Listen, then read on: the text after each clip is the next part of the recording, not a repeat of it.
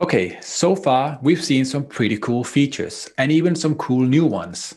But now I'm going to show you a real golden oldie, Secure External Password Store. This was first introduced in 10G. Yeah, you heard me right, 10G. And yet still, I rarely see it used outside in the real world. And I really find it's a shame. It is such a cool feature that can really increase security in your organization. So please, people, start using it. But let's see what it can do.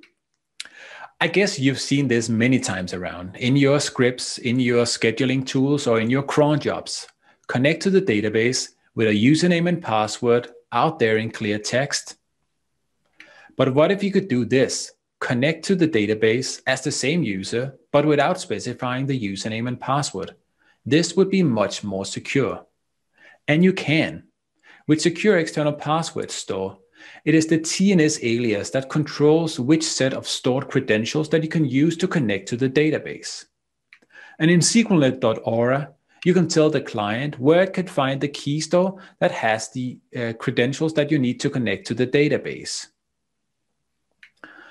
And then finally, you can create a key store, which is basically an encrypted file stored in your local file system, but it's encrypted with an encryption key that only the client knows. And it holds your credentials. You can use the mkstore command to add credentials into the file and you use the TNS alias as an identifier, and then you specify the username and password. Obviously, this is a much more secure solution and it allows proper separation of duties. You can allow people con to connect to the database without knowing the username and password. You can avoid having hard-coded passwords in your script, and you can avoid typing your password in clear text in the terminal. All these things are something that really increases security.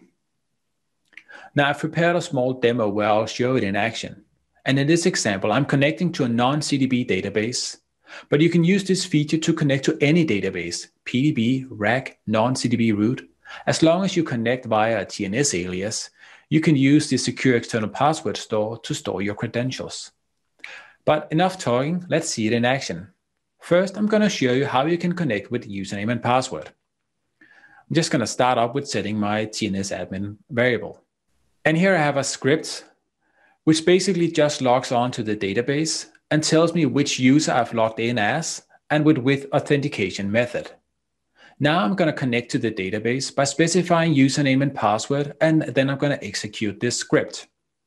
And you can see that I've logged on as batch and I've authenticated with a password, which makes sense because I've specified that on the command line to SQL*Plus. But it's not very secure.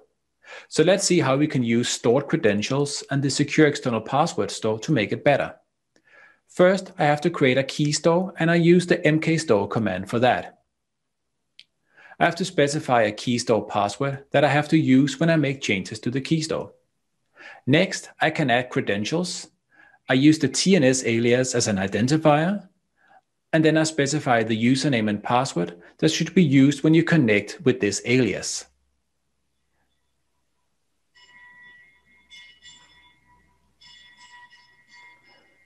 Now in sqlnet.ora, you can see where the key store is located.